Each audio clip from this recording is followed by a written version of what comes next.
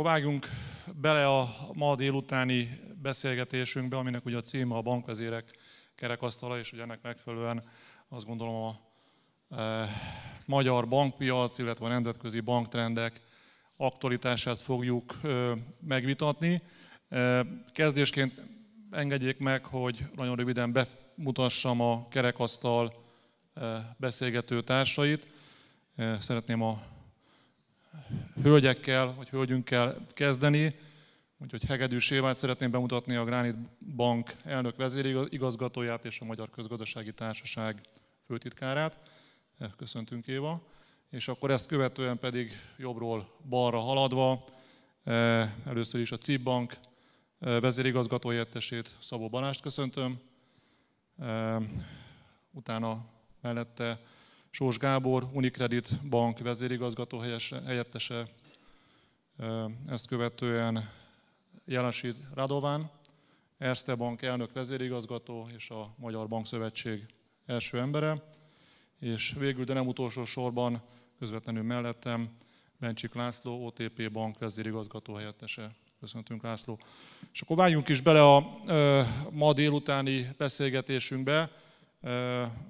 Én eredetileg három, három blokkot terveztem, picit úgy szerkesztve a beszélgetés témáit, hogy picit elindulnánk a jelenből, és akkor utána mennénk fokozatosan előre, ilyen köz, középtávú kérdésekkel foglalkoznánk, majd végezetül egy picit hosszabb távú kihívásokkal, amelyekkel majd a bankrendszer mindenféleképpen a következő időszakban szembesülhet. A nekem a tanulsága elnök, Matolcsi elnök úr ma reggeli prezentációjából az volt, hogy azért ezek az idősíkok azért folyamatosan változnak, tehát hogy ami korábban 10-15 éves trendnek nézett ki, az láthatólag itt a koronavírus járvány után akár már a következő egy-két évet jelentheti. Úgyhogy ezzel a diszklémerrel ellátva kell az, azt gondolom ezeket a kérdéseket is majd értelmezni, mert lehet, hogy amire én most azt gondolom, hogy egyébként az egy 4-5-6 éves sztori, az akár már a következő évek történése lehet. Hogy akkor vágjunk is bele a, egy rövid helyzetértékelésbe. Elnézést még mielőtt elkezdjük a beszélgetést, kapacitálni természetesen minden e, e, interneten minket követőt, hogy a kérdéseket e, nyugodtan juttassák el hozzánk. Itt előttem már jó pár kérdés van, ezeket is igyekszem majd föltenni a résztvevőinknek. Szóval kezdjük a, a, az aktuális helyzetértékelésből.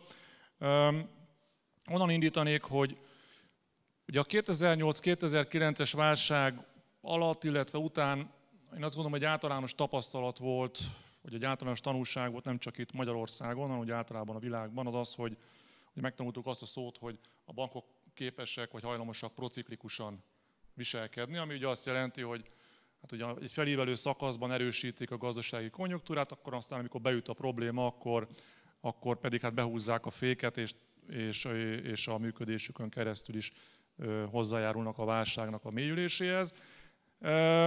Ehhez képest kell értelmezni azt gondolom azokat a jelenségeket, amiket itt az elmúlt másfél évben itt a koronavírus járvány időszaka alatt láttunk, hát azt gondolom kiemelten itt Magyarországon. Ugye azt láttuk, hogy maga a válságkezelésen belül egy kiemelten fontos pillér tudott maradni mindvégig a hitelpiacunk. Ugye akár a lakossági, akár a válti szegmensben nézzük, folyamatosan fönnmaradt az aktivitás, és ezzel segítette a gazdaságnak a helyreállását.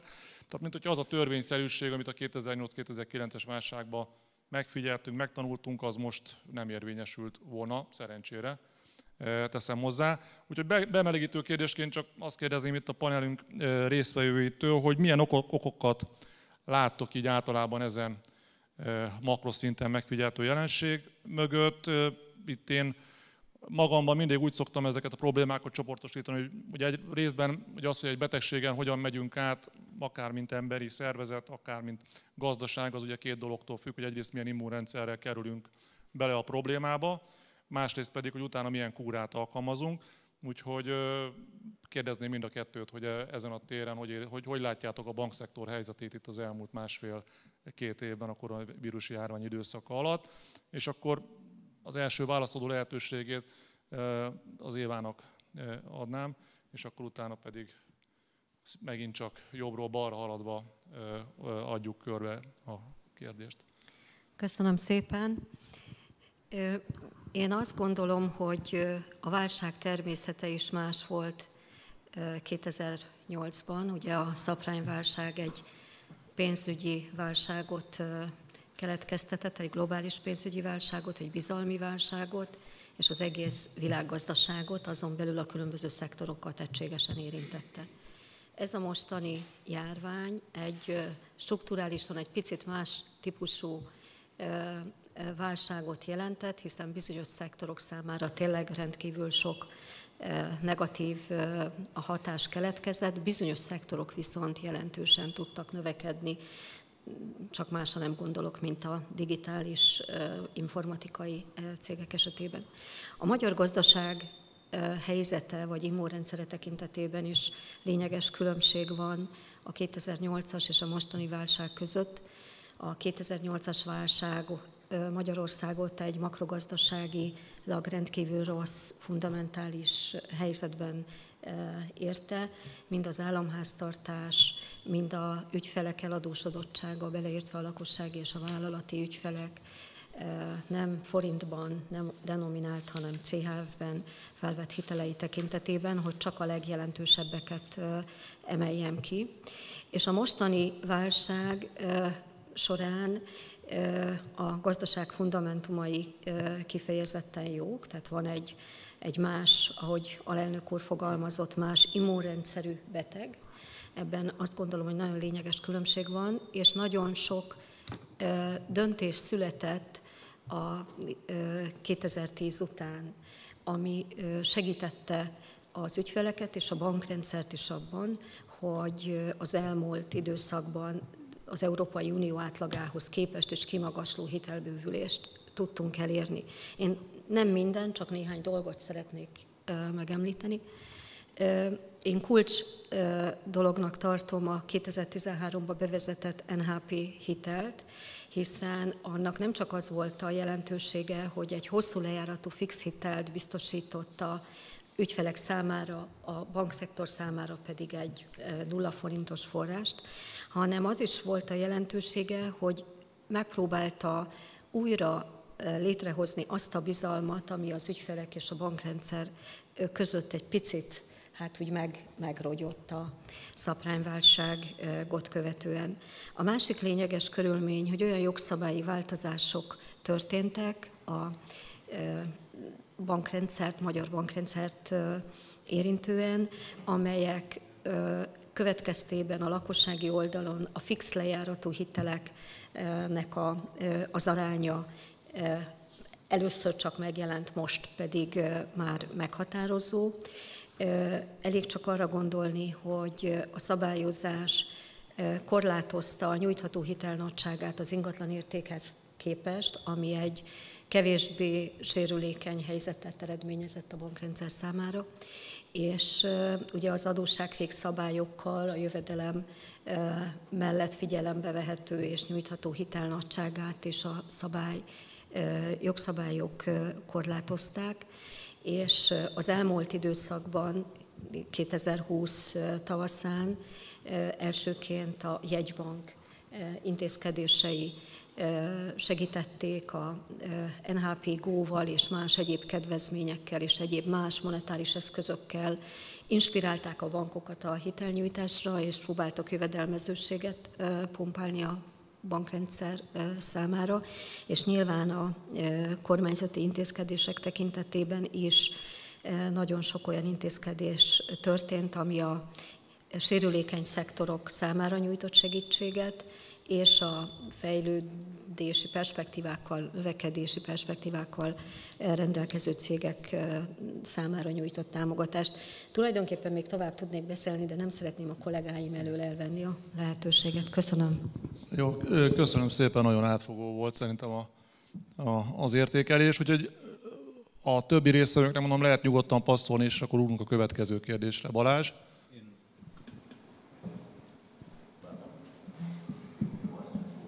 most jó lesz.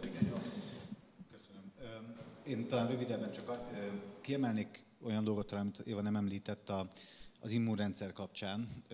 Szerintem, ugye én a karrierem elején éltem még, még 2008-as váltást, válságot a magam részéről, biztosan, de szerintem általánosságban is elmondhatjuk, hogy mi bankvezetők is tanultunk sokat a 2008-as válságból, és, és felkészültebben ért bennünket ez a mostani válság. Engem nagyon meglepett akkor 2008-ban, hogy amikor még tényleg fiatal bankárként a, egy mentoromnak mondtam, hogy milyen érdekes tanulság ez akkor nekem, és ő meg azt válaszolt, hogy neki is.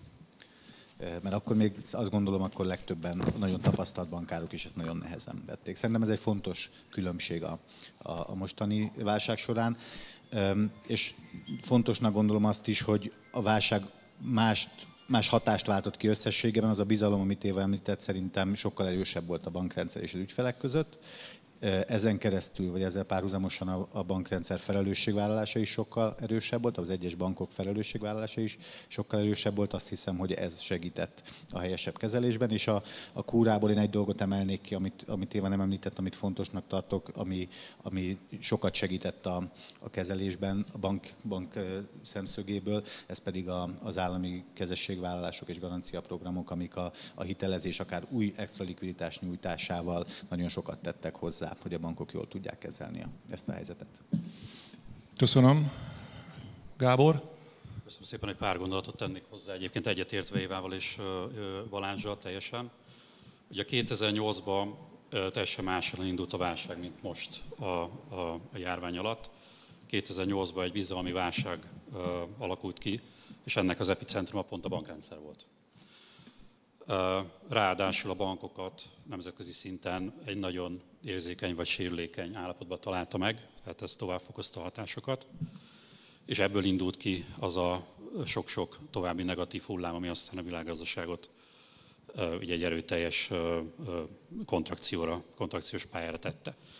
Ugye ezzel szemben most én azt gondolom, hogy a járvány először egy keresleti válsággal indult lezárások kapcsán, aztán ez szépen áttevődött egy kínálati válságba, viszont az összes többi tényező az nagyon eltérő volt a 2008-hoz képest.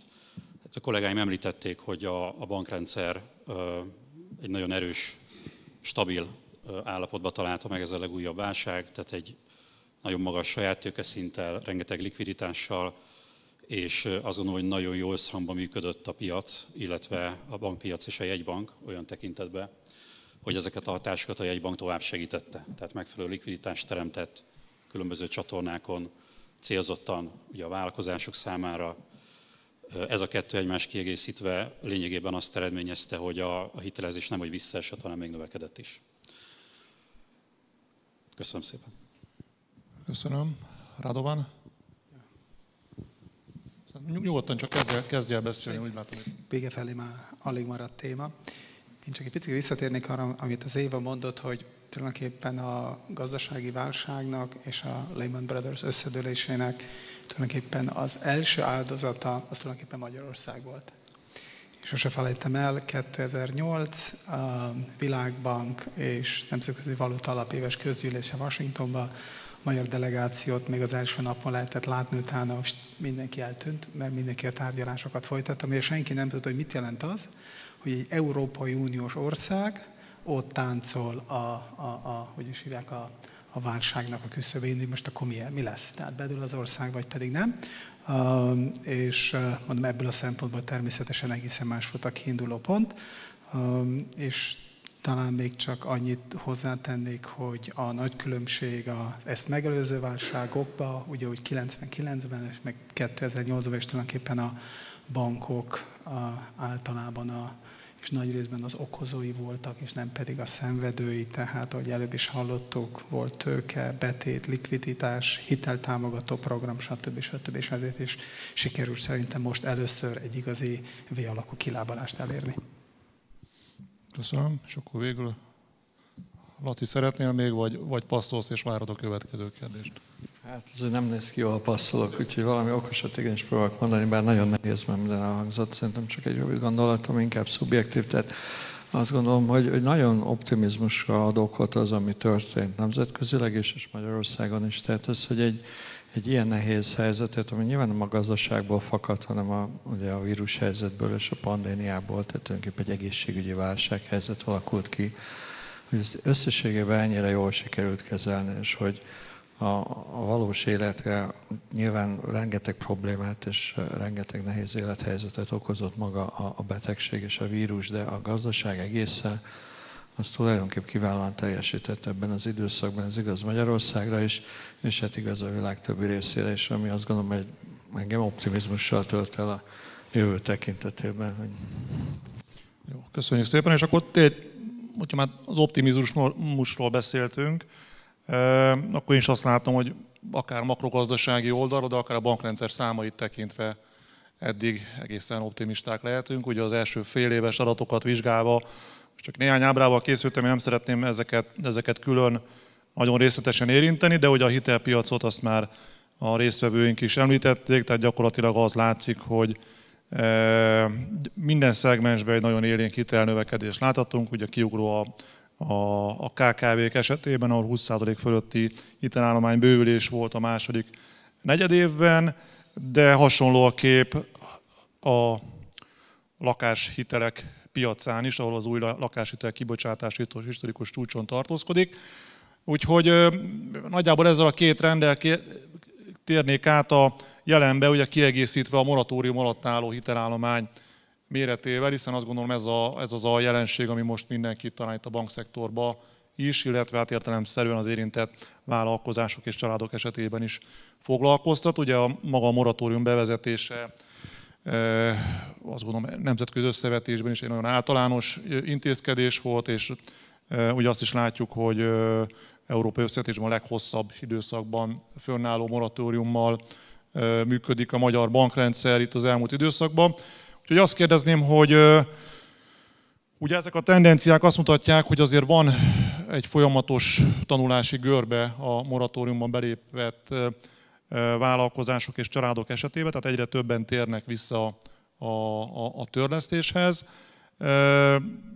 Itt nekte, mi, mi, mik a várakozásaitok ugye a novemberi hosszabbítást követően? Ugye most ugye november eleje a határidő, addig kell nyilatkozni arról, hogy kik azok, akik még szeretnék meghosszabbítani ezt a, az időszakot. Hogy látjátok bankrendszer szinten, mi az az arány, ami mondjuk a novembertől megfigyelhető lesz a moratóriumban maradókat tekintve. Esetleg kezdjük el akkor most a sor, sor széléről, Balázs, és akkor lehet mondjuk a vállalati szektorra fókuszálni, de hogyha tudsz a lakosságról érdekességeket mondani, azt is. Szívesen próbálok becslést adni. A előjáróban annyit mondanék, hogy a napokban a, annyira nehéznek találom a kérdést. Napokban az egyik kollégánk egy szavazást indított, egy ilyen tipversenyt, hogy mennyi lesz. Tehát, hogy ennyire mint a foci EB előtt, hogy mik lesznek a meccs eredmények, körülbelül annyira érezzük jól előre jelezhetőnek, hogy a, az ügyfelek mekkora része fog bejelentkezni. Miért? Mert, a, mert azt gondoljuk, hogy, hogy továbbra is egy nagyon megengedő szabályok vannak a moratórium vonatkozásában, tehát nem feltétlenül csak azok fognak, akik, akiknek ez, ez teljes mértékig indokolt, és ezért arra talán könnyebben tudnánk választ mondani, hogy mire számítok az ügyben, hogy, hogy kinek, kinek lesz indokolt, de az, hogy mennyien lesznek, azt viszonylag nehezen. Amit látunk azért a testvérbankjainktól, nagyon különbözőek voltak a szabályok az egyes országokban, de ez alapján én, én most nagyjából azt mondanám, hogy valahol az, az 5 és 20 százalék közé becslem a most a moratóriumból lévőkhöz képest az arányát azoknak, akik, akik maradni fognak. Az érzésem szerint inkább lejjebb, és nem a felső tartományokba. Én, ennél, én az alsóbb részbe adtam a tippemet erre a tippversenyre. De, Bocsánat, de Balázs, ez, ez lakossági szegmens? Vagy, te, vagy teljes banki szinten mondtuk a most moratóriumban lévő arányához képest. Azt gondolom, ebbe egyébként olyan nagy különbséget én nem, nem számítok, hiszen már azért mindenhol a vállalatiban talán jobban koptak ki az elmúlt időszakban azok, akik, akiknek ez nem releváns. Én azt gondolom a két, a két szegmensben együtt. Gábor? Picit máshonnan közelíteni meg a kérdést. Ugye mi az Unicreditnél nagy hangsúlyt helyezünk arra, és nyáron is volt egy ilyen kampányunk, hogy párbeszédben vagyunk azokkal az ügyfelekkel, akik a moratóriumban vannak. Ugye miért, miért adjuk ezt nagyon fontosnak? Nem mernék most beslésre bocsátkozni, hogy milyen arányban fognak benn maradni, de igazából mi arra koncentrálunk, és azt próbáljuk meg felmérni, hogy ki az, akinek valóban mondjuk a moratórium lejárta után is problémája lesz, és erre milyen megoldást tudunk kínálni. Most a Unicredit nevében beszélek, és elmondhatom, hogy azért mi hagyományosan konzervatívan hitelezünk, és talán mondhatom azt, hogy egy nagyon jó portfólióval rendelkezünk, az átlaghoz képest jobban. Mi azt látjuk, hogy a lakossági oldalon a hosszabbított moratórium lejárta után körülbelül olyan 10%-a a moratóriumos ügyfeleknek lesz olyan helyzetben, hogy valamilyen segítségre lesz szüksége. Ez, ez nem azt jelenti, hogy, hogy ez a 10% ez ott esetben ez a 10% hitelbedőlésre kerül, hanem ezek azok, akikkel valamilyen megállapodást utána még kötnünk kell. A vállalati oldalon azt gondolom, hogy ennél is jobb a helyzet, tehát a, ugye a moratórium hosszabbításkor mi úgy látjuk, hogy ezt a 25%-os árbevétel csökkenést tesz csak kevés ügyfelünk, hát mondjuk így, hogy abszolválta. Tehát nem számítunk arra, hogy tömegesen maradnának moratóriumba, és a vállalati oldalon egyébként is azt látjuk, hogy alapvetően a, a cégek egészségesek, likviditási problémájuk többségben nincsen, amennyiben pár ilyen ügyfélnél ez előfordul, akkor természetesen egyedileg próbálunk megállapodni velük. Köszönöm szépen. Köszönöm. Éva, parancs. Nem szeretnék versenyezni, hogy kinek milyen a portfólió minősége, a miénk a MPR át a 0,03. Majd a következő kérdés. Jó, jó, jó, oké.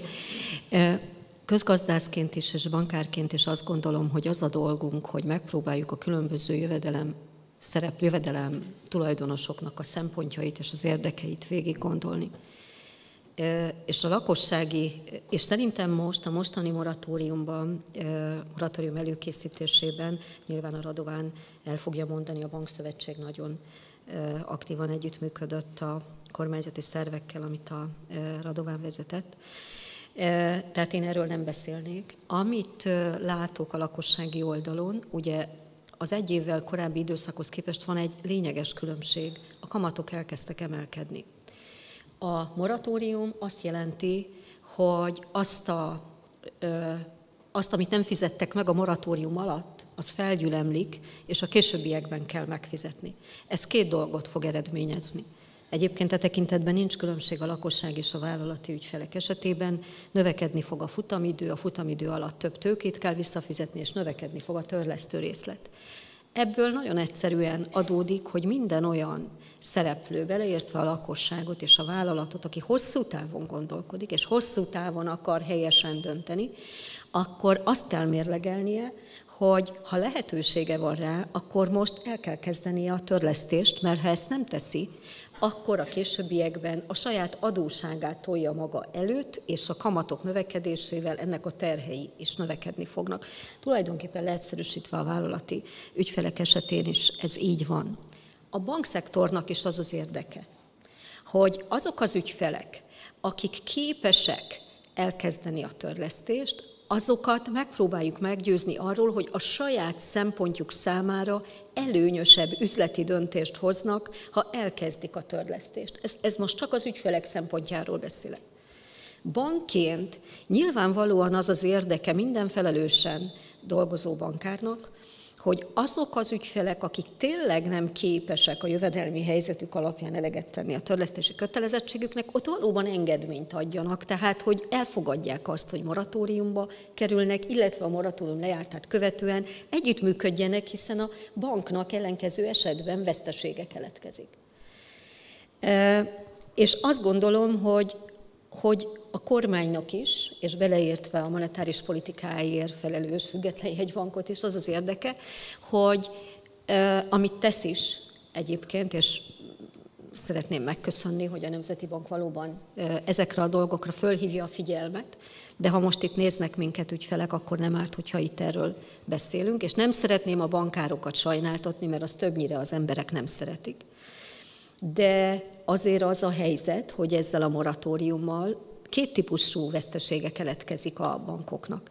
Egyrészt van egy meg nem kapott kamat, ugye, a, a forrásokért nekünk kell fizetni kamatot, a likviditásból pedig nem jön az ügyfelek kamata, tehát ott van egy veszteség. És nyilván a szigorú értékvesztési szabályok miatt ugye a tőke oldalról is ez nem tesz jót a bankszektornak. Úgyhogy amit én szeret, amit én mit teszünk Granite Bank? Nekünk egyébként a moratóriumban lévő ügyfelek aránya lényegesen alacsonyabb a bankszektor átlagához képest, és ez a célszegmens miatt van. Ugye mi elsősorban az affluens ügyfélréteget hitelezzük, és azok, akik a mezbe jobban benne vannak, nekik ez nehezebb. De minden ügyfelünkkel az a törekvésünk, hogy világos, egyértelmű kommunikációt folytassunk, és arra, arról próbáljuk őket meggyőzni, hogy az ő pénzügyi, üzleti pozíciók szempontjából jobb, ha képesek a fizetésre, hogy elkezdjék a törlesztést. Köszönöm. Köszönöm szépen. Radovan, hát, hát, téged olyan szemben is kérlek szépen, hogy reagálj a kérdésre, hogy te, mint egy, egy nagy nemzetközi banknak, ugye a hazai leánymakját vezeted, de ilyen módon ugye rálátás, rálátásod van a nemzetközi tapasztalatokra is. Mit mutatnak a a nemzetközi trendeket éren. Hogyha megengedett alelnök úr, még egy picit csak reflektálni szeretnék arra, amit a, az Éva mondott. Tehát szerintem ami most kulcsfontosságú ennél a harmadik moratóriumnál, hogy itt be kell jelentkezni, ami szerintem egy óriási különbség. Ne felejtsük el, hogy tavaly december végével elszámoltunk, kiértesítettünk minden ügyfelet, és reméljük, hogy ezt mindenki elolvasta, megértette, felfogta, hogy mit jelent a moratórium a hitelével kapcsolatosan.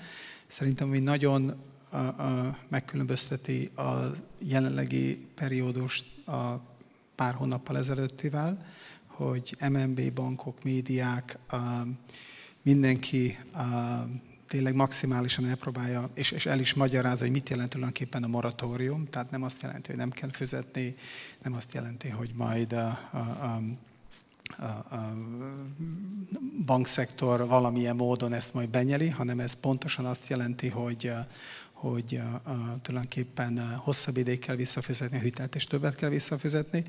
Szerintem nagyon fontos az, hogy az ügyfelek minél nagyobb számban jöjjenek be, illetve különböző médiákon keresztül tájékozódjanak, hogy mit is jelent a moratórium harmadik fázisába belépni, illetve most fog tulajdonképpen kitudódni, hogy milyen mértékben vannak felelős ügyfeleink, akik ezt megértik, mert szerintem ez egy, ez egy vízválasztó lesz valószínűleg majd októberben. A kérdésedet illeti, engem is természetesen nagyon érdekel, az OTP-nek a válasza is erre. Mi hat országot néztünk végig, tehát mind a hat országban, környező közép-kelet-európai ország volt moratórium, mind a hat országban már régen felfüggesztették a moratóriumot, és mind a hat országban végignéztük, hogy volt-e jelentős NPL állomány növekedés a moratórium lezárása után, és egyértelmű válasz, illetve egyértelmű statisztika, hogy nem volt. Tehát még egyszer nem volt MPL növekedés a moratórium lezárása után. Arról ne is beszéljünk, hogy ezekben az országokban a kilábalás messze nem volt annyira sikeres, mint Magyarországon. Köszönöm szépen. Laci, parancsolj. Ezt abszolút meg tudom erősíteni, amit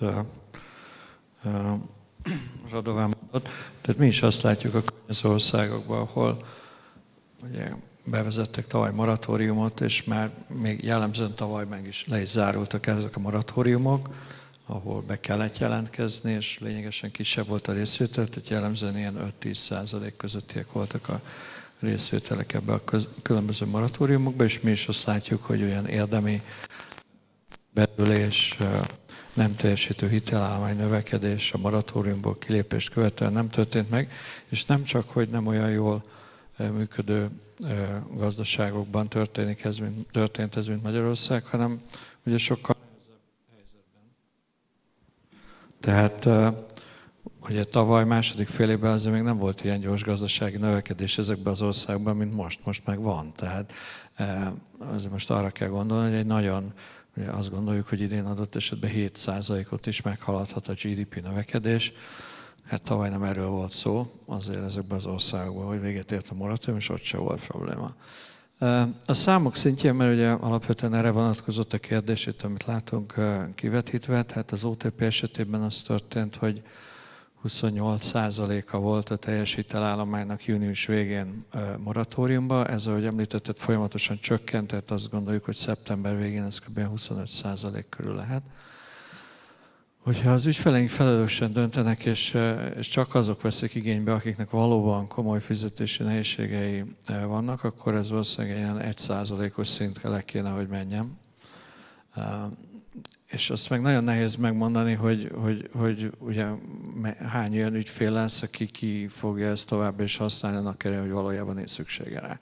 Én nagyon bízom abban, hogy felelős döntést fognak hozni az ügyfelek, és fölmérik ennek a hatásait elsősorban magukra nézve, tehát hogy ez, ez, ez igazából nem jelent előnyt számukra, mert ugyanúgy ki kell fizetni ezeket az összegeket. Úgyhogy hát nagyjából ennyi. Tehát pont a számot mi se tudunk, és nálunk is nagyon széles mértékben szórnak ezek a, ezek a várakozások, mert ugye nagyjából azt kell megbecsülni, hogy hányan fogják azt mondani, hogy szükségünk van rá, amikor valójában nem feltétlenül van. Jó, akkor ö, nagyjából lezárnám ezt a kört. Én hasonló az első kör, az inkább az optimizmust hallottam ki az értékelésekben a tekintetben, hogy, hogy azért a nap végén, mondjuk amikor három-négy év múlva visszatekintünk itt a koronavírus járvány időszakára, azért, azért a várakozás az az, hogy a nem teljesítő hitelállomány nagysága a bankrendszerben az érdemi, vagy ilyen nagyon drámai megugrást azért nem fog mutatni, tehát ilyen tekintetben is sikerül abszolválni, vagy sikeresen tudjuk abszolválni ezt a válságot. Picit áttérnék akkor most a hitelpiacokra, hiszen ott is azt gondolom, hogy folyamatosan változik a helyzet, illetve érdekes jelenségek vannak. Ugye kezdeném a vállalati, vállalati hitelpiacsal, ott ugye azt mondom, hogy nyáron, nyáron több fontos, több érdekes jelenség is ugye zajlott. Ugye egyrészt a, ugye megjelent globálisan, és hát ugye Magyarországon is a, a, az infláció a képletbe, ugye, amelyre reagálva ugye a Magyar Nemzeti Bank proaktív módon egy kamatemelési ciklusba kezdett, tehát alapvetően a kamat környezet az elkezdett változni. Ugye másrésztről pedig ugye azt láttuk, hogy a, hát gyakorlatilag az elmúlt közel egy évtized ikonikus meghatározó termék, hogy a növekedési hitelprogram az, az kivezetésre kerül. Úgyhogy azt szeretném kérni itt a vállalati hitelpiac kapcsán, milyen trendekre számítotok itt a következő időszakban. Tehát egyrészt azon a téren, hogy ugye vannak közben új állami programok, ezek milyen gyorsan futnak föl, milyen lesz a piaci versus állami programoknak a részaránya a vállalati hitelezésben, másrészt pedig, hogy az árazás tekintetében milyen tendenciák érvényesülnek. Itt megint csak kezdenék a Balázsral, meg a Gábor azért nézek rájuk, mert ők azok, akik kifejezetten a vállalati területért felelős vezetők, úgyhogy nektek adnám meg az első reakciók lehetőségét. Köszönöm.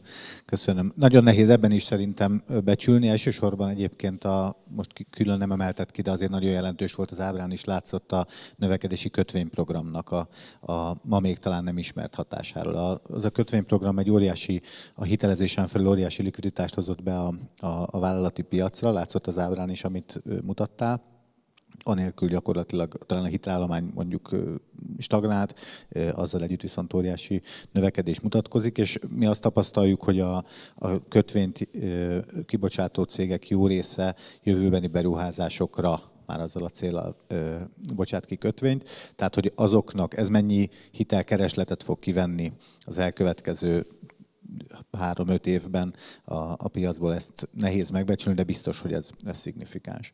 A kamatemelési ciklus ö, már nagyon komoly ö, dilemmát okoz, okozhat a cégeknek. Rövid távon azt gondolom, hogy a, a mondjuk az új, amit említettél, hitelprogramok, vagy a Széchenyi Kártya Go program, az praktikusan az ügyfelek számára ugyanúgy fix kamatot biztosít a bankok számára, hozza be a, a fix támogatás mentén majd a csökkenő marzsot, hogyha a, a kamatok tovább emelkednek. A, a cégek oldalán ma még mondhatom sajnos nem érzékelem ennek a, ennek a hatását, hogy ők ettől tartanák. Egyrésztről hozzáteszem, nincs szerintem a 5-10 legégetőbb problémája között a, a cégeknek. Az, alapanyagár, az alapanyagárak változása, meg az alapanyag hiány, a munkaerővel kapcsolatos nehézségek százszor fontosabbak nekik, mint hogy öt év múlva 3%-kal magasabb lesz az alapkamat, és ezen keresztül akár a, a a, a kamatköltségük magasabb lesz. Jó hír, hogy ezzel ellen tudnak tenni, de egyelőre nem látom. Tehát a válasz azt hiszem arra, hogy ők most nyitottak-e már arra, hogy, hogy a fix kamatozású hiteleket keressenek, szerintem még nem vagyunk itt. Ez részben azért is van, mert, mert nagyon hosszú időn keresztül volt velünk az NHP keresztül a támogatott hitelprogram és a fix kamatozás, és azt hiszem, hogy ezzel a következő években jelentős munkák lesz nekünk, és az ügyfeleknek is, hogy a már sokszor említett felelősség mentén ki tudjuk küszöbölni azt, hogy az emelkedő kamat nehézséget okozzon. De azért az utolsó gondolatom az, hogy amíg az infláció ilyen szinten van és itt van, addig tulajdonképpen a magyar, magyar országi bevétellel rendelkező ügyfeleknek a bevétel oldalon is a, megvan a kamatemelkedést úgymond ellensúlyozó bevétel töblete. Átadnám a szót a Gábornak, esetleg egy olyan kérdéssel még megspékelve, hogy maga a vállalati hitelkeresletnél láttok-e szerkezeti eltolódást, tehát hogy nem tudom, jobban keresik most a beruházási hiteleket, mint korábban, vagy továbbra is inkább a forgóeszköz hitelezés az, ami dominál? Köszönöm szépen. Egy nagyon érdekes, mert azt látjuk, hogy az alapkamat emelkedése ellenére a hitelkereslet az, az egyáltalán nem csökkent, sőt, nőtt. A, ugye a nemzetgazdasági statisztikából látható, hogy a beruházások is nagyon szépen alakulnak, és ugye ezekhez a beruházásokhoz a, a cégek hosszú távú hiteleken keresztül tudnak többek között finanszírozáshoz jutni. Én itt visszatérnék a Balázs utolsó gondolatára, a, ugye az inflációt említette a Balázs, tehát valójában egy reálkamat egy cég számára még mindig negatív tartományban van, és azt gondolom, hogy innentől ez egyre nem egy effektív korlát költségoldalon számukra. A, egyébként az alapkamat emelkedése ellenére, amikor egy vállalkozás egy beruházásról dönt és annak finanszírozásáról, ugye mindig a beruházás megtérüléséhez viszonyítja a költségeit. Én azt gondolom, hogy, hogy messze nem vagyunk még olyan tartományban, hogy a mostani kamatszintek mellett ne érné meg beruházni. Így, így talán mondhatom azt, hogy jövőbe is azt várjuk, hogy megmarad a kereslet vállalati oldalon.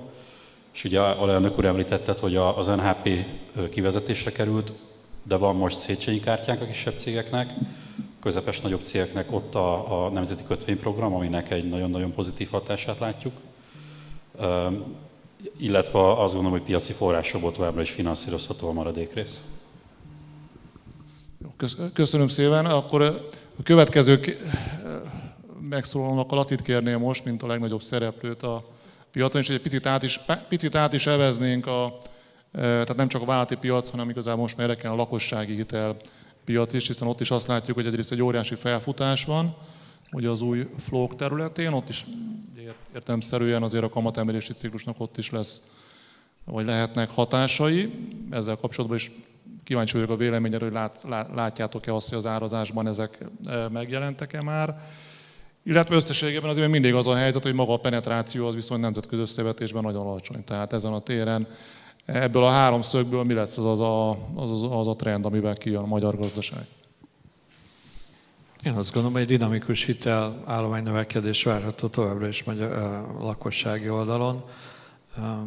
Azért a lakossági ügyfelek a vállalatiakkal szemben az elmúlt években átértek a fix struktúrákra, köszönhetően egyébként a jebbank nagyon pozitív intézkedéseinek, meg iránymutatásának.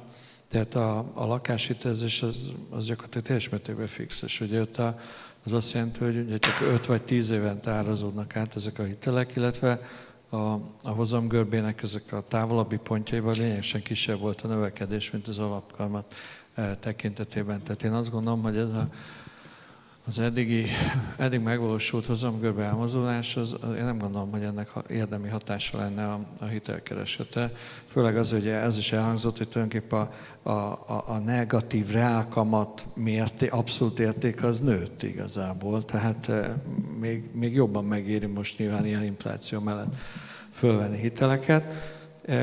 De hát ugye alapvetően ez a hitelkereslet az, az, az jellemzően a, a fundamentális folyamatoktól függ. Én azt gondolom, hogy a, a lakás, a lakhatással kapcsolatos kereslet az jelentősen erős, és tovább erősödik, és itt ugye a Covid-nak volt ez ilyen szerepe, hogy a, ugye ez a home office kérdés, tehát hogy egyre többen kezdtek el otthonról is dolgozni, és ez egy, ez egy nagyon nagy strukturális addicionális laká, lakhatási igényt, és ennek kapcsán lakás hiteligényt jelenít meg. A fogyasztás meg nagyon erős. Azt gondolom, hogy hogy, hogy viszonylag magas lesz a bérinfláció a következő években, magasabb, mint általában az infláció. Ez további vásárlóerő növekedést fog jelenteni, ami ugye a fogyasztás emelkedésével fog járni, tehát a fogyasztási hitelezés is erős lesz. Persze itt azért a babaváró hitel az nagyon erősen még mindig meghatározó, ez egy nagyon pozitív struktúra, azt gondolom nagyon fontos célt szolgál, hogy ez még jövő év végéig elérhető de a fundamentálok tekintetében is azt gondolom, hogy nagyon erős lesz a kereslet, és a további években is gyors lesz a hitelnövekedés. Köszönöm szépen. A, ugye a szabaidból azt vettem ki, hogy azért ez egy olyan piac lesz, amire minden bank nagyon aktívan figyelni fog, ezek szerint, ugye gyorsan növekvő piac. Számíthatunk ebből arra, hogy mondjuk a felárak is elkezdenek csökkenni, illetve itt tenném fel mondjuk Radovának az a kérdés, hogy megjelenik egy új termék is, ugye október 1 majd a piacon, Zöld Otthon program néven, ott, ott milyen eh, kezdeti lendületre, indulásra számítotok? Szerintem az is egy ilyen, uh, uh, mindenki már startpisztolyra um, hogy uh, mikor és hogyan fog pontosan elindulni. Kollégáinkat, sőt a közvetítőket is már elkezdtük oktatni, Szerintem ez egy ilyen repülő start lesz, sőt szerintem ma most is lehet érezni, hogy egy picit csökkent is a kereslet, mert mindenki pontosan ezekre a hitelekre is vár. Ez is természetesen meg lehet spékelve, csokkal, meg különböző más kedvezményekkel. Még talán visszatérve az, az előbbi témához, a bankszövetségen belül erről még nem beszéltünk, de majd lehet, hogy beszélünk. Szerintem mindenképpen nagyon felelősségteljes az, amit a Magyar Nemzeti Bank csinál az utóbbi pár hónapban. Ugye az alapvető mandátum a, a, az árstabilitás, és ennek megfelelően, amikor nő az infláció, akkor emeli a kamatokat. Most erre természetesen mindenki mondhatja pár hét után, á, és semmi, á, ez majd nem látszódik meg a kamatokba, stb. stb. De ez lassú vízpartot most ennek majd mindenképpen meg lesz a, a, a konkrét számbeli vonzata is. És szerintem főleg most látszódik, amikor nőnek a, a kamatok, amikor például a hosszú távú, főleg tíz éves állampapírnak a hozamai még csak kismértékben nőnek, ahhoz képest, hogy mély mértékben nőtt a, a, a rövid lejáratú, viszont messze-messze kisebb mértékben nőnek a marzsok, illetve a például 10 éves fix hitelek kamatai, elsősorban a konkurencia miatt. Tehát itt most pontosan lehet látni, amikor mennek fölfele a kamatok, ugye mindenki belőtte az, hogy mennyit szeretne értékesíteni még ebbe az évbe, illetve a jövő évbe. Látja, hogy sokkal nagyobb a konkurencia, és lassan, de biztosan mennek lefele a kamatok és mondjuk az alapkamat emelkedik, tehát a marzsok csökkenését ez már szerintem most is előidézte, és szerintem ez még csak a kezdet, és mindannyian várjuk, hogy majd mit hoz az elkövetkező három-négy hónap. Köszönöm szépen. Akkor én akkor picit tovább lépnénk így a következő témánkra, már csak azért is, mert itt nézem közben a, a nézőktől beérkező kérdéseket, és gyakorlatilag minden kérdés digitalizációval kapcsolatos kérdés, úgyhogy javaslom, hogy térjünk át a digitalizációs kérdéskörünkre, mint egy olyan kihívás, ami a, a Covid utáni életet ugye a bankrendszerben is ö, meghatározza. Bemelegítő kérdésként ugye, hogyha magyar, magyar viszonyokat nézzük, akkor ugye azt látjuk, hogy, hogy akár, a, akár a, az IT infrastruktúrát tekintve, tehát az internetes infrastruktúrákat tekintve azért a Magyar, Magyarország, Európa, hát mondhatjuk az élmezőnyébe tartozik, ugye nagyon sokan használnak a felnőtt lakosságból internetet, ugyanakkor mégis azt látjuk, hogy azok aránya, akik mondjuk net, bankol, net bankolás is végeznek, azok továbbra is relatív alacsony, vagy az alacsonyabbak közé tartozik.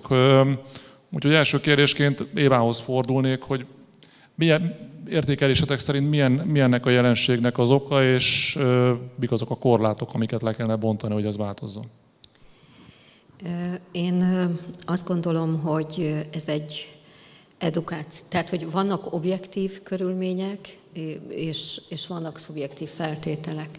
Az objektív körülmények közül kiemelem az, hogy a netbanki penetráció jelentős mértékben növekszik, és az utóbbi időszak technológiai fejlődése lehetővé tette, hogy leegyszerűsítsük a bankolást, és megmutassuk azt az ügyfeleknek, hogy lehet olcsóbban, egyszerűbben bankolni. Ez a bankárok felelőssége, vagy ha úgy tetszik, a Granite Bank felelőssége, hogy mennyire tudja leegyszerűsíteni azokat a folyamatokat, amit az ügyfelek több évszázadon keresztül megszoktak, hogy a bankolás szintere a fiók. Én azt gondolom, hogy, hogy az életkor és az iskolai végzettség jelentős, legalábbis mi azt látjuk, ami ügyfeleink körében, hogy legalábbis a lakossági ügyfeleinknek a 80%-a felsőfokú végzettséggel rendelkezik, és a, elsősorban a nagyvárosokban és Budapesten élnek, akik nyitottabbak a digitális megoldásokra.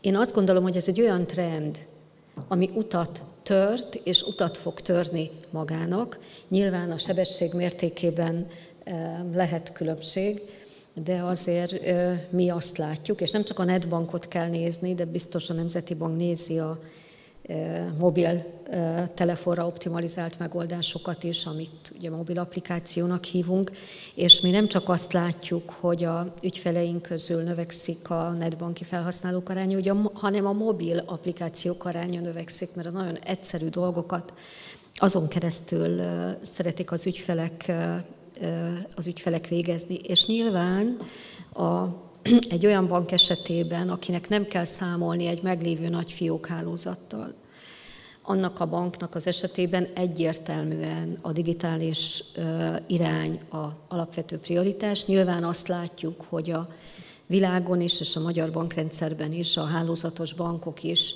nagyon sok pénzt fordítanak a digitalizációs megoldásokra, és ha más nem, ez bizonyítja a legjobban, hogy az ügyfeleknek van erre igényük, mert ha nem lenne, akkor ugye csak becslésekkel rendelkezünk arra, hogy a magyar bankrendszer mennyit költ a digitális, digitális fejlesztésekre, de nagyon sok-sok milliárdot. Tehát azt gondolom, hogy az ügyfelek oldaláról az igény az ott van, és az, hogy mennyire tud ez utat törni magának, az a, az a mi felelősségünk, tudásunk, a rendelkezésre álló tőke kérdése, és én nem szeretném ezt a kérdést ilyen fiók és, és digitális megoldással egyszerűsíteni, mert nagyon minden bizony azt gondolom, hogy ilyen is lesz, meg olyan is lesz majd a jövőben, de hogyha tényszerűen megnézzük, az nem kérdés, hogy a fiókoknak a száma lényegesen csökkent az elmúlt tíz évben, aminek nyilván az volt az oka, hogy a bankok elemzése arra következte, lehet hogy, lehet, hogy van olyan nagy bank, akinek nem annyira csökkent, de az összes bank esetében jó, de akkor ott is jó. Tehát náluk maguknál nem csökkent, igen. De a bankrendszer szintjén ez, ez, ez egyértelmű trend, én, én azt gondolom, egy nagyon jelentősen tetten érhető tényező, és nem csak a pénzügyi szektorban nő a digitalizálás, mindenhol az egészségiparba, az oktatásba, mindenhol.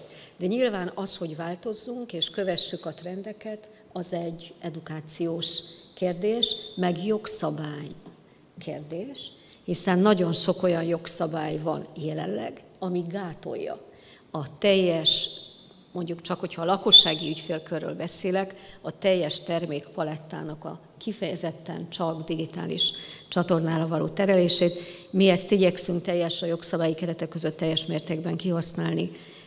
Nálunk lakáshitelt közvetítők nélkül lehet igénybe venni. Itt figyeltem Radován megjegyzésére, és nagyon tetszett elnök úr előadásában az a megjegyzés, ami a közvetítők jövőbeni életpályájáról szól. Most nem akarom azt a szót használni, amit ő, ő használ, de nyilván ezt majd meglátjuk.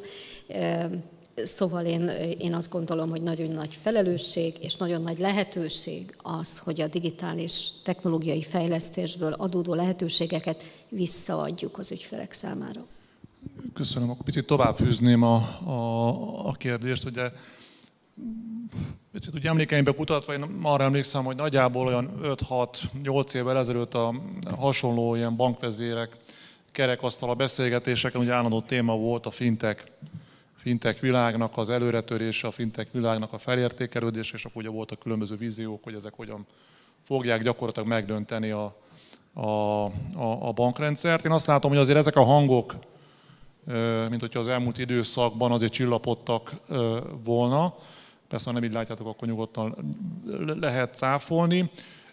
Viszont ami pedig új jelenség az az, hogy, hogy egyre nagyobb kedve vagy ambícióval jelennek meg ugye a big tech cégek is egy-egy olyan részpiacon, vagy kívánnak belépni olyan részpiacokra, amiket egy eddig a, a banki szereplők töltöttek be. Ugye itt csak egy érdekes ábra, csak azért, hogy valami érdekeset is mutassak, ne csak, ne csak kérdezzek ugye az, hogy például a mai mondjuk itt a koronavírus járvány utáni időszakban például az Apple-nek a teljes piaci kapitalizációja az hát ugye egy nagyságrendel nagyobb mondjuk, mint a teljes európai bankrendszernek a kapitalizációja, miközben ugye sokat halljuk, hogy a jövő legfontosabb nyersanyaga az adat, és hát ugye adatból hát sok van a bankoknál is, de még több van talán ezeknél a nagy tech cégeknél. Úgyhogy azon a kérdésem, hogy, hogy ezen a téren ti milyen, milyen jövőképet láttok, tehát tényleg tudnak-e a big tech cégek néhány szegmensben majd valós kihívói lenni a, a, bankoknak, vagy mondjuk a fintekhez hasonlóan ezt is képesek lesznek azért e, kezelni e, a, a, a bankok. Lehet jelezni, hogy ki szeretné kezdeni a Radovan? Az ábrát, hogyha látják a nézők is, erre csak egy kommentem van, ha politikusok az idejüknek a harmadát azzal töltötték volna, hogy az Apple monopóliumot rakják helyre, és nem pedig a bankokét, akkor valószínűleg ez pont fordítva néz neki. Tehát ma sem értem, hogy miért kell több száz, meg több ezer bank, illetve van bank, miért jó, és miért van tulajdonképpen két nagy operatív rendszer az egész mobil világba, illetve azon kívül még sok több kisebb is, de ezt még a mai nap nem értettem meg, és hogyha én hozzányúlok egy adathoz, akkor szinte mindenkinek magyarázkodnom kell, és hogy az Apple telefonon, meg amikor elindulok hatkor hazafelé, és már előre mondja nekem, merre megyek, menjek haza, mert tudja pontosan, általában 6-7 óra körül indulok haza, akkor ez egy teljesen normális dolog, és akkor erre mosolyogjak, és fogadjam el, hogy ez nagyon jó és pozitív szolgáltatás. Jó? Ezzel eh, kapcsolatosan uh, um, csak ennyit. Um, igen. Um, akkor, elnézést, hogy szabad bártatok, hogy jól értem, akkor te az adatok elérhetőségét, mint egy kritériumot azért a bankra, tehát hogy mint, mint, mint, mint egy peremfeltétel azért meghatároznád a döntéshozók felé a, igen, illetve, a bankok irányába igen, is. az, hogy milyen uh, mennyiségben, uh, milyen aspektusból és milyen célokra használhatjuk mi az adatot, illetve mindenki más, uh, uh, legalább nekem is ez az érzésem, lehet, hogy csak azért, mert itt vagyunk egymás között, bankárok között, és mindenki más meg valahogy az az érzésem, hogy sokkal rugalmasabb, egy egészen más világba mozgolódik akkor, amikor ugyanazt az adatot fel akarja, fel akarja használni, annak érdekében, hogy valakit megszólíts, hogy valakinek küldjön egy infót, és ezt egyszerűen tehát nem látom, hogy ez egy ilyen, hogy ez ilyen fair play világ. Talán ami az online bankolók arányát illeti, itt egy eh, konkrét magyarországi példa, mi az ersztében Magyarországon sokkal jobbunk vagyunk a cseheknél is, meg, a, meg az osztrákoknál is, tehát sokkal nagyobb számban vannak online bankolók, mint uh, amennyien, amennyi számban vannak Csehországban és, és uh, Ausztriában. És talán még egy dolog, ami főleg itt a pandémia válság alatt számomra egy ilyen paradigmaváltást jelentett, hogyha tényleg ma bármelyikünk megnézi, az, hogy mennyi interakciónk van naponta fizikailag egy fiókba, és mennyi interakció van internet, online, meg minden más csatornán keresztül. Az ember rájön arra, sőt, néha egy picit meg is ijed, hogy ha valami történik abban a másik világban, online internet, ha ott valami nem működik 5 másodpercen keresztül, ha valami nem működik 10 percen keresztül, akkor ezt nem lehet egy mosolyjal, egy beszélgetéssel, egy kávéval lerendezni, ugyanis ezek a viszonyok akkor függen, hogy milyen bankja van az embernek, egy a tízhez, egy a húszhoz, és ez a viszony még nem tudom, még pár évvel ezelőtt egy az egyhez volt, tehát annyian léptek be a bankba, a mobilon meg a neten keresztül, mint amilyen bejöttek a bankba. És ez mondom, ez teljesen más paradigmaváltás, és szerintem sokunknak még ez nem annyira tudatos, hogy mennyire nehéz ezt most már befolyásolni. Köszönöm szépen. Parancsol. Parancsol, Ez egy nagyon izgalmas kérdés. Ezt is nekem úgy tűnik ez alapján, hogy az OTP az jobban áll, mint a magyar piac átlaga. Ez, ez, ez, ez így van. Aminek örülök. De viccen kívül azt gondolom, hogy rengeteg pénzt költünk a, a, a digitális szolgáltatásaink fejlesztésére, és most Magyarországon aktuálisan ugye mind, a, mind az internetben, mind a mobilbank megújult, és szerintem az a szolgáltatás, illetve biztos vagyok benne, hogy az a szolgáltatás, amit jelenleg nyújtunk, az abszolút európai színvonalú. Tehát, hogy nyilván minden lehet javítani, de egy, egy multi-channel bank digitális értékajánlatának ez Európában azt gondolom a tetején van. Um, és egyébként a, tehát hogy emellett az ügyfelek járnak fiókba, az szerintem nem baj. Tehát, hogy én ezt nem egy, egy tragédia. Én azt gondolom, hogy nekünk az a dolgunk, hogy szolgáltassunk az ügyfeleknek szolgáltatást, és hogy ez kényelmes legyen. És hogyha ők szeretnének valakivel beszélni, akkor tudjanak valakivel beszélni, és ne egy nem tudom, amerikai call centerbe, vagy indiai call centerbe ilyen órákat várniuk, hogy történik valami. Tehát mi nem zártunk be Magyarországon, jellemzően nem csökkent érdemben a, a fiók hálózatunk az elmúlt években Magyarországon, és ez tudatos, mert azt gondoljuk, hogy így tudunk magas szintű szolgáltatást nyújtani, és nem gondolom, hogy ez egy baj lenne, hogy ezt igénybe veszik. Ugye általában ezeket a skandináv országokat szokták mutogatni, Például én, éltem Svédországban így télen, tehát nagyon hideg van és sötét, tehát az embernek semmi kedve kimenni, még akkor is az utcára, ha van ott egy bankfiók. Meg egyébként, ha meggondoljuk, ez az egész mobil... Igen, de ez egy nagyon koncentrált kis, és egyébként nagyon sok szempontból világ. Nem tudom, Szingapur mennyire hasonlítható. Ott nem értem sokkal, csak rövidebb ideig. Úgyhogy nem tudom. De tehát ez az egyik. A másik, hogy a, a, az Apple szerintem, amit a Radován mondott, ez nagyon fontos. Tehát az, hogy ilyen, ilyen picik az európai bankok, a piaci kapitalizáció szempontjából, az alapvetően az ECB miatt van, mert mesterségesen negatívan tartja a kamatot egy olyan környezetben, amikor már az eurozóna is nő és infláció van így nem lehet működni profitábilisan. Hál' Istennek ez ránk kevésbé vonatkozik, Magyarországon meg egyáltalán nem. A másik probléma, hogy az európai szabályozás, a, tőke szabályozás és egyéb tekintetben is rendkívül restriktív. Tehát a bankrendszer az egy rendkívül módon túlszabályozott szektor. És azt gondolom, hogy alapvetően ez tükröződik ezekben a számokban is. Amellett, hogy nem egy monopólium, hanem egy nagyon szét tagolt piac. Tehát itt alapvetően az a kérdés, hogyha az Apple-nek mondjuk, hogyha elkezd banki szolgáltatásokat nyújtani, akkor, akkor rá is hasonló szabályok vonatkoznak-e majd, mint a bankokra, mint a többi európai bankra mondjuk. Mert ha nem, akkor nyilván nagyon könnyű lesz nekik a bankszektorból kiasítani valamit, de akkor meg egy óriási baj van, mert akkor egy egyébként nagyon komoly szabályozást igénylő szektort valaki egy oldalról meghekkeli, és egy, egy, egy teljesen ellenőrizetlen csatornán keresztül kezd banki szolgáltatás bekerülni a Európába. Ez azt gondolom egyrészt nem lenne fair, nem lenne korrekt, másrészt veszélyes is lenne. Ha az Apple-nek is hasonló szabályokkal kell megbírkoznia, mint a, a bankoknak, akkor azt gondolom, hogy akkor nem lesz esélyük, főleg nem, egy, nem olyan kisebb országban, mint ami közép-kelet-európában vannak, mert egyszerűen nem lehet ennyi ennyiféle országnak megfelelő megoldást kitalálni. Lehet, hogy Franciaország, Németország, ez, ez más lesz, mert oda fognak egy egyedi megoldást találni. Jó. Igen, akkor itt egy... Csak tovább szeretném folytatni azt, amit a Laci mondott.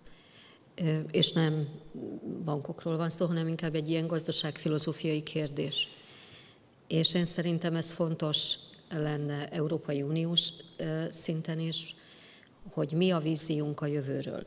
Az a víziunk a jövőről, hogy monopóliumokat építünk, akik olyan adatmennyiséggel rendelkeznek, ami olyan többlet hatalom befolyásolást jelent, ugye ezt nem csak én mondom, a Harari ugye a könyvébe ezt nagyon szépen és okosan leírta, zárójelbe zárt. Tehát én szerintem itt azt a kérdést kell eldönteni szabályozási szinten, és azoknak, akiknek ebben szerepük van, hogy monopóliumokat akarunk-e építeni, és akkor még ha az Apple-re érvényesek lesznek is a banki szabályok, nem lesz verseny. Márpedig én azt gondolom, hogy a verseny jótékony hatást gyakorol az ügyfelek kiszolgálásának a minőségére, az árazásra. Hát itt versenyzünk egymással, még akkor is a különböző méretű szereplők vagyunk, és azt azért látjuk, hogy az ügyfeleknek ez, ez haszonnal jár. Szóval én azt gondolom, hogy ezt nagyon-nagyon meg kell gondolni, és láttuk most az egészségügyi járvány idején, hogy ezek a nagy monopóliumok, ezek a nagy értékesítési láncok milyen függőséget tudnak eredményezni egy adott ország számára. Tehát én ezt egy nagyon komoly kérdésnek tartom, és nem csak az a kérdés, hogyha az Apple bankot alapít, akkor rájuk ugyanazok a fogyasztóvédelmi és tőke követelmények és a vezetőkre vonatkozó szakmai követelményeknek kell, hogy vonatkozzon természetesen. A kérdés az, hogy ezt akarjuk-e. Köszönöm. Akkor átadom a szót, csak még egy kérdéssel meg, meg, megspékelném ami az eddig elhangzott. Tehát, hogyha jól értettem, akkor az az üzenet, hogy ugye egyrészt mindenképpen a szabályozásnak kell egyenlő feltételeket teremteni, másrészt pedig az adatok elérhetőségében is hát ugye közel hasonló szinten kell állni a szereplőknek. És itt fűzném tovább, amit az Éva, Éva jelzett, hogy Ugye a legutóbbi válság után azért az európai bankrendszer kapcsán volt egy olyan üzenet, hogy azért el kell indulni egy konszolidáció útján, ami ugye a méretgazdaságosságban egy, egy jobb helyzetet teremt. Kérdésem az, hogy a Covid válság után is igaz-e az az állítás, figyelve az, hogy itt akkor ugye alapvetően olyan szereplőkkel kellene majd fölvenni a versenyt, ahol akik méretgazdaságossági szinten legalábbis tudnak hát kellően hatékonyan működni. Akkor most adnám a szó, át a szót a... Köszönöm, a köszönöm.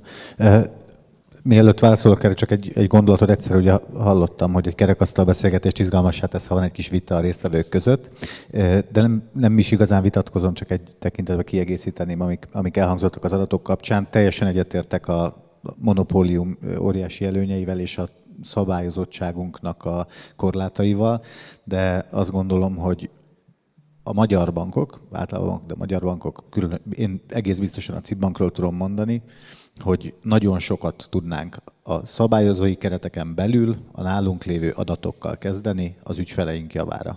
Tehát van ebben még most is bőven tartlék, tehát szerintem nem, nem lenne helyes, ha azt gondolnánk, hogy nálunk túl kevés adat van, az Apple-nél túl sok, mi túl vagyunk szabályozva, és ezért nincsen tartalék. Tehát van benne, és és ez szerintem, ahogy örülök, amikor a telefonon megkérdezi, hogy hazamegyek-e, szerintem tudnánk ugyanezt a, az ügyfeleinknek a nálunk lévő adatokból még többet adni. Én ebbe szignifikáns változást várok a következő években. Egyébként sokkal kevésbé érzem felelősnek magunkat a digitális penetráció kérdésében, hogy hányan használnak internetbankot, rengeteget költ mindenki a, a internet mobil applikáció fejlesztésére, a funkciók folyamatosan bővülnek, ott sokkal kevésbé lennék kritikus magunkkal és a bankrendszerrel.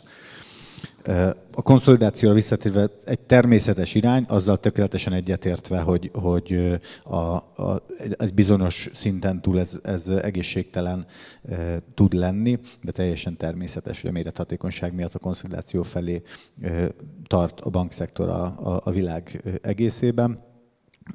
Ugye ez Magyarországon is régóta jelenlévő kérdés, van is ma várható is jelentős változás a, a, a bankszektorban.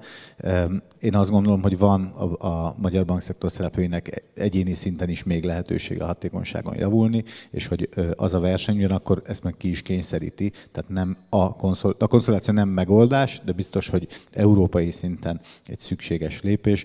Ebből a szempontból szerintem a magyar piacon nagyon nagy szereplők, európai szinten komoly szereplők vannak jelen itt az asztalnál is ilyenek ülnek, illetve azt gondolom, hogy ez emiatt egy más, másfajta kérdés itthon és más Európa vagy világszerte. Köszönöm szépen. Gábor, van még, vagy hogy lépjünk. Köszönöm, hogy az Apple kérdés, ez még egy gondolat. Arról azért még nem beszéltünk, hogy, hogy az Apple nem tud mindenbe versenyezni a bankokkal. Tehát ez, biztos... Ezért azt mondani, hogy egyes részpiacokon. Igen, igen, igen, igen, és pont erre akartam reflektálni. Tehát azért természetesen egy fizetési forgalomban tudnak olyat mutatni, amit, amit a bankok is szívesen átvennének, vagy át is vesznek, de mondjuk képzünk el egy hosszú lejáratú projekthitelt, amit 10-15 szakember hónapokon keresztül állít össze, tehát ezt nem lehet digitalizációval kiváltani. Ezt nem lehet know-how nélkül csinálni, ügyfélkapcsolatok nélkül csinálni.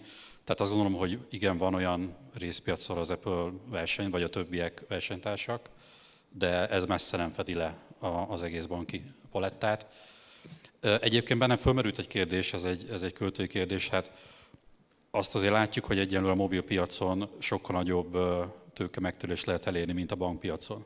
Tehát miért, miért érni meg az Apple-nek egy bankpiacra való mondjuk jelentős tőkeallokációt, tehát per pillanat ezt, ezt én nem látom még magam előtt. Akkor utolsó szó jogán. Látom, Radovan közben egy ilyen kisebb eszét írt a témához. Pontot, amit ki szeretnék emelni, itt még egyszer visszatérve az Apple-hez, tehát már látom azt az Apple vezetőt, aki beül majd egy Apple bankba, és amikor majd a fiának akar LTP-t nyitni, akkor majd a felügyelőbizottságnak kell a hozzájárulása, amikor majd a, a, a vezetőség tagját majd megkérdezik e, azzal kapcsolatosan, hogy a bátyának, meg, a sző, meg az édesapjának hol van a ingatlanja, mennyi földje van, mi befektette be a pénzét, arról nem is beszélve, hogy bónuszát majd lelimitálják maximum egy évre, azt is majd öt év alatt, a, a, a kis kanállal fogják neki kiosztani. Tehát gondolom szerintem nagyon fontos az, hogy a, a, ugyanolyan mércével a, a mérjenek mindenki. Én az igazat megvan, a gyerekeimet tényleg leveszélem arról, hogy a bankszektorba menjenek, mert szerintem a politika legjobb úton van, hogy tökéletesen versenyképtelenné tegye ezt a szektort, arról nem is beszélve, hogy friss, csillogó szemű embereket nagyon nehéz arra rábeszélni, hogy a bankszektort válasszák, és nem pedig az Apple. Um, azért, ha megengeded, azért a bankszektoron belül is tudnék ajánlani egy helyet, ami szerintem még sokáig nagyon sok csillogó szemű, tehetséges embert fog foglalkoztatni, hogy jöjjenek a jegybankba. Jó, akkor tovább lépésként, ha megengeditek, beolvasok egy digitalizáció képén címen kapott kérdést a nézőinktől. Azt mondja, a decentralizált pénzügyi megoldások előretörésével mennyiben alakul át várhatóan a jelenlegi monolit bankrendszer működése és a szolgáltatások köre? Jelenkezés útján lehet szót kérni. Balázs. Én talán csak röviden, nem biztos, hogy elég átfogó választ adnék rá, de én azt hiszem, hogy, hogy és talán a fintechek kapcsán is ez, a, ez lehet az egyik oka, ami miatt máshogy látjuk ma őket, mint pár évvel ezelőtt. Hogy én szerintem eljutunk oda, hogy, hogy itt nem vagy lagos a kérdés, hogy fintekek vagy mi, vagyis ez mennyire fog a monolit bankszektor átalakulni. Én szerintem inkább az fog kialakulni, hogy hogyan tud együttműködni a különböző szolgáltatásokban ez a két, két része a pénzügyi szolgáltatásoknak, és én erre számítok, hogy inkább e felé fogunk menni, hogy a, a bankszektor kihasználja azokat a lehetőségeket, amik az ilyen típusú szolgáltatókban vannak. Éva, parancsolj. Én annyit azt szeretném mondani, hogy a bankárkodás az egy szakma. Egy nagyon összetett, nagyon sokrétű szakmai ismeretet igényel, és én ezt értettem abból, amit a Radován mondott, hogy kérdés, hogy a jövő generációja ezt az apró sok szabályokat figyelembe venni tudó, és egyébként a dolgokat leegyszerűsíteni képes folyamatokat, hogy, hogy tudjuk megoldani. Én azt abban hiszek, hogy, hogy az a dolgunk, hogy a pénzügyi szolgáltatásokat a lehető legegyszerűbbé tegyük, és ez nem olyan egyszerű feladat. Nem csak azért, mert több Nobel-díjas elmondta, hogy az az igazi tudás, amit egy mondatban el tudsz mondani. Tehát akkor fog teret nyerni a digitális szolgáltatásoknak a súlya a világban, Magyarországon, Ha ezeket a bonyolult dolgokat nagyon le tudjuk egyszerűsíteni, és azokat a UX élményeket tudjuk biztosítani számukra, amit azért a fintekek nagyon sok esetben tudnak. És tulajdonképpen én abban hiszek, hogy a jövő bankjában a szakmai tudás és a fintech tudásnak egy sajátos mixére van szükség, és akkor jönnek csillogó szemű emberek a bankszektorba, ha itt olyan profitabilitást tudunk biztosítani, ami lehetővé teszi számukra a hosszú távú perspektívát. Köszönöm szépen. Akkor engedjetek meg még, egy kérdést. Ugye, talán azért, mert szerintem a fiatal generációinkat bizt, egészen bizonyosan, amikor arról hallnak, hogy digitális pénzek, akkor egy szó jut eszükbe, hogy bitcoin, úgyhogy érkezett egy ilyen kérdés, hogy a véleményük szerint a kriptovaluták hogyan érintik a bankolás, lesz-e olyan a jövőben, amikor bitcoinban is lehet hitelt fölvenni? Kicsit provokatív a kérdés. Bitcoinról általában, mint jelenség, mi a, mi a véleménye a életképes, vagy pedig inkább egy hype? Hát, vagy a jegybankokon múlik? A bitcoin elsősorban az illegális kereskedelemnek a pénze a, a, a világban a kezdete óta. Tehát a fegyver, ember, kábítószer kereskedelem és minden, az egész dark webnek a, ugye a, a, a fizető eszköze, ugye ez futtatta föl. Tehát sajnos ez a helyzet. És mint olyan, nyilván ez azért valósulhatott így meg, mert teljesen kívül esik a szabályozó és felügyeleti körökön. És ennek megfelelően ugye vagyonokat, pénzt lehet mozgatni mindenféle ellenőrzés nélkül. Én meg vagyok őszintén döbbenve, hogy amellett, hogy ilyen, ilyen mélységben ugye a banki működés, a pénzforgalmat, pénzmosását nagyon helyesen rendkívül mértékben szabályozza a világ, nagyon komolyan veszi, hogy hogy, hogy erről egyetem beszélhetünk így nyilvánosan, hogy akkor ez jó-e vagy nem. Hát, hát tehát, hogyha ha, ha valaki ugye mondjuk a, valami illegál, mondjuk pénzmosás esetén mondjuk dollárban történik, akkor az amerikai Egyesült Államok az joghatóságot érez, hogy saját maga eljárjon. Hát a bitcoinban ez egész, tehát trilliárdok forognak a illegális tevékenységek kapcsán. Emellett ugye egyfajta ilyen spekulatív befektetési eszköz, ami rendkívül volatilis, és hát tényleg megfelelően kell szerintem kezelni mindenkinek. Én nagyon bízom benne, hogy, hogy ez nem fogja átvenni, vagy nem fogja a mértékbe elterjedni, hogy, hogy a, a, a jegybank által generált fizetőeszközöket vagy egy bankok által generált fizetőeszközöknek valódi, már a, a, a legális gazdasági tevékenység tekintetében verseny, versenyzője legyen. Köszönöm, csak, csak azért, hogy korrekt legyek itt a közben, a kérdezői választ is küldött, hogy Szalvadorban hivatalos fizetőeszköz lett a bitcoin. Picit így. Igen, de um, akkor picit át is térnék a, ennek, a, ennek a résznek talán az utolsó, utolsó témakörére, mert ugye azt gondolom, hogy ez az egész digitális transformáció, meg digitális forradalom, ami, ami zajlok, az, zajlik, az ugye nem csak a kereskedelmi bankokat foglalkoztatja, mint kihívás, hanem azt gondolom egyre inkább foglalkoztatja a jegybankokat is, ami most már egészen nyilvánvaló. Ugye talán két-három évvel ezelőtt, amikor még ugye a digitális jegybank pénzről beszélgettünk, akkor ez picit ilyen, ilyen teoretikus érdekességként került az asztalra, mint egy ilyen jövőbeli teória. Ugye ehhez képest most azért a, megint csak az elmúlt nagyjából egy-két évnek a, a fejleménye az ugye az az volt, hogy, hogy most már egyre több jegybanknál figyeletjük meg azt, hogy aktív elemzéseket folytat a témakörbe, hogy a, a, a legutóbbi felmérések szerint most már a világ, világ jegybankjának közel 90%-a folytat elemzéseket, és hát 60% esetében pedig pilot projektek is e, indultak el. Úgyhogy e, láthatólag ez a digitális átállás, ez a jegybanki világot is e, elérte. E, Ugye ezen a téren ilyen nyitó kérdésként azt szeretném kérdezni, hogy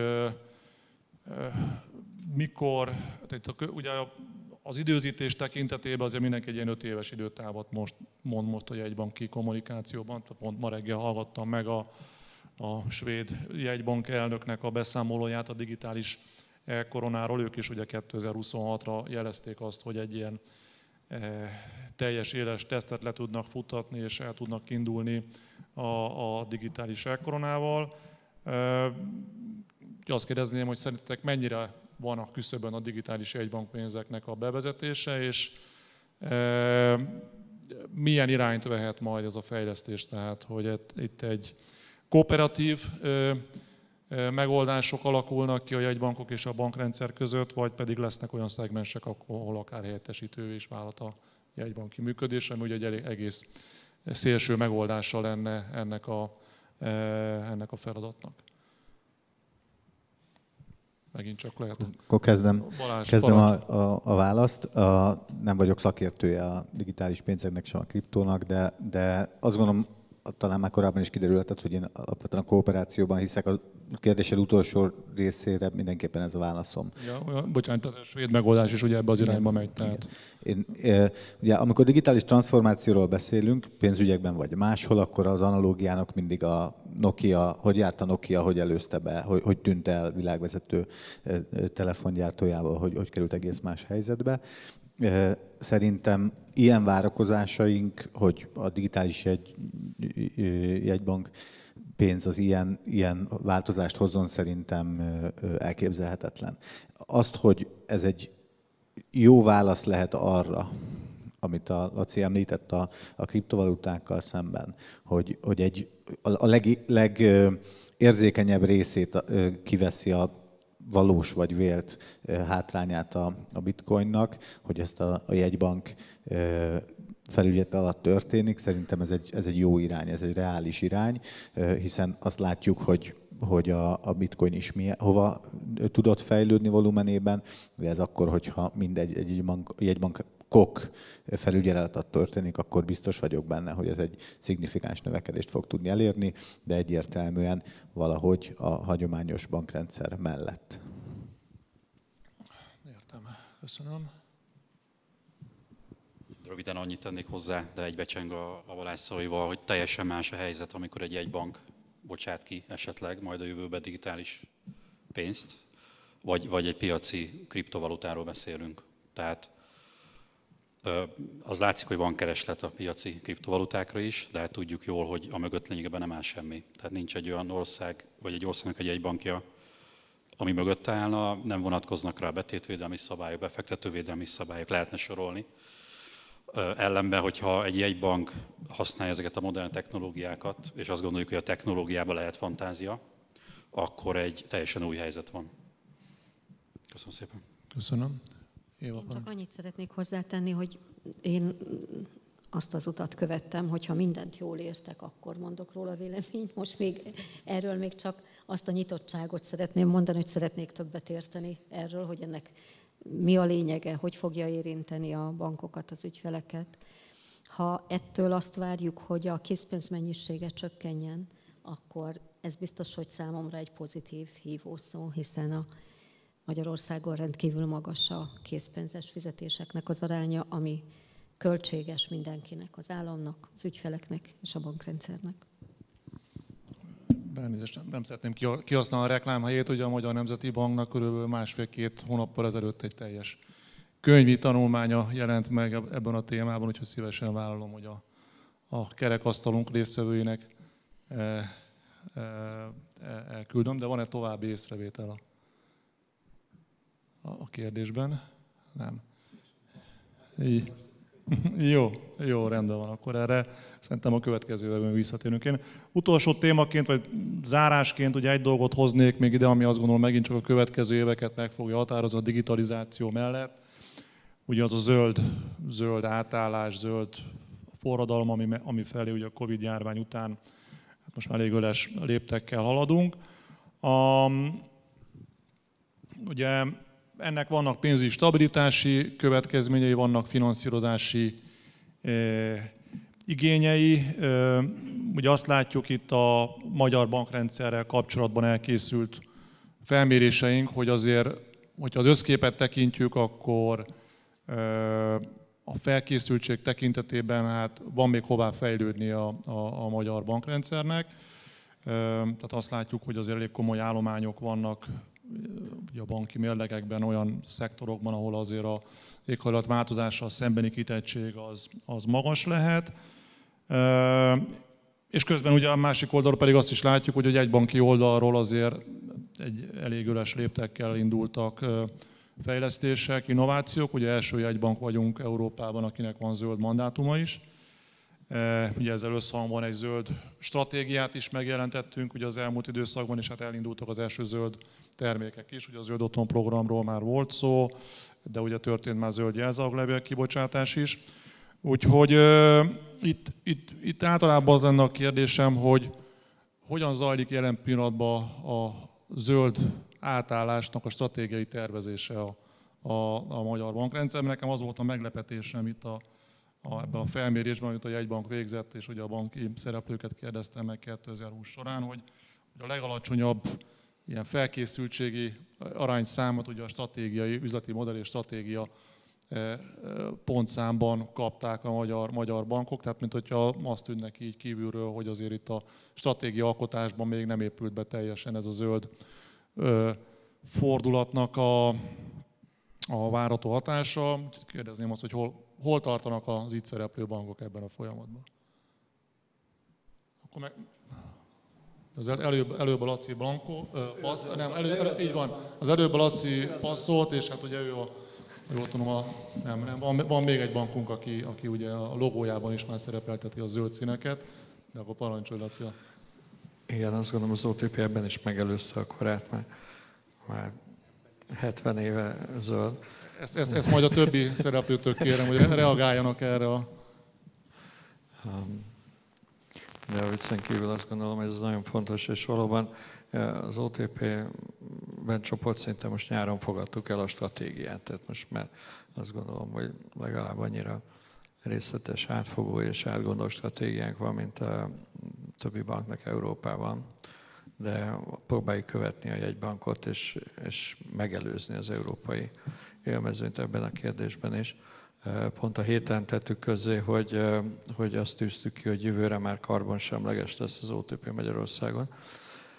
Ez ugye az egyik fel a dolognak, mert azért nyilván a, azért a bankszektor, mint olyan, azért nem jellemzően a nem, nem a környezetszennyező iparága közé tartozik, de, de azt gondolom, hogy ebben is tennünk kell, tehát saját magunknak is állandóan figyelnünk kell azt, hogy miben, miben tudunk a saját tevékenységünkkel is környezetbarátabbak és jövőépítők lenni. De ugyanakkor azt gondolom, hogy azokat a kezdeményezéseket, amik, amik a jegybankból e, jönnek, meg egyébként megjelennek speciális konstrukcióként, a zöld kötvények, ugye bocsátottunk ki zöld jelzáloglevelet, e, a zöld finanszírozás, ezek nagyon jók, és ezekben nagyon, tehát a stratégiánk legfontosabb lényeg egyébként ez, tehát hogy ezekre a termékekre abszolút proaktívan, abszolút a, az ügyfél igények elébe menve, és azokat megpróbálva az ügyfeleket tájékoztatni ezekről a termékekről, gondolkodunk róla. Úgyhogy ez a kérdés, ez most abszolút fókuszába került az OTP csoport stratégiájának.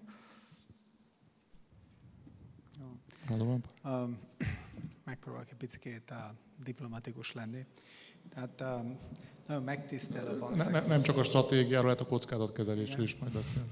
Tehát nagyon megtisztelő, hogy a bankszektornak egy ilyen missionárius munkát adtak, de szerintem, csak meg szeretném jegyezni, szerintem van egy sokkal gyorsabb, direkt, közvetlenebb és egyszerűbb dolog is, hogyha valaki ki szeretné zöldíteni ezt a föld bolygót, méghozzá azok, akik nem fenntarthatóak, azokat egyébként direktbe is meg lenne adózni de úgy néz ki, hogy most itt megint így hátulról a bankokon keresztül, meg a hiteleken keresztül um, próbáljuk ma ilyen megváltani a világot. Nem értem pontosan, hogy miért nem lehet ezt még egyszer direktbe és gyorsabban megcsinálni.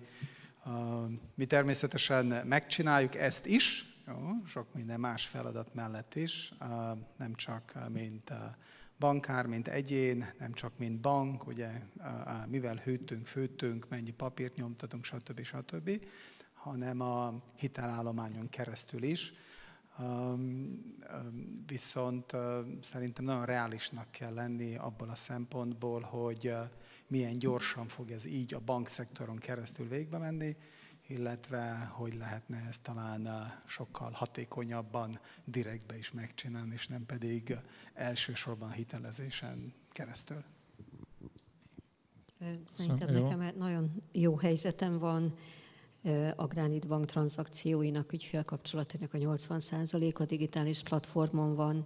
Nem véletlenül kaptunk a Magyar Nemzeti Banktól két évvel ezelőtt az év fenntartható bankja díjat. Az egész üzleti modellünk erről szól, hogy a tranzakcióinkban minél inkább próbáljunk megtakarítani tulajdonképpen olyan széndiokszid kibocsátást, ami elkerülhető többek között a digitalizációval, tehát ez kéz a kézben jár.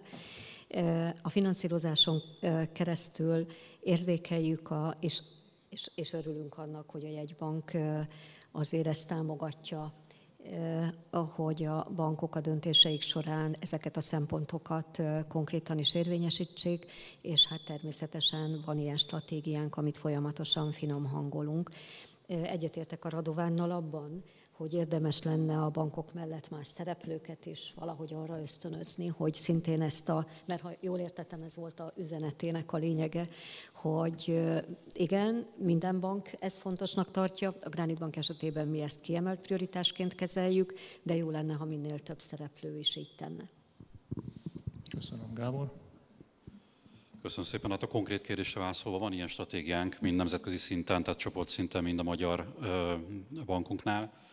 Ezt körülbelül másfél évvel ezelőtt fogadtuk el.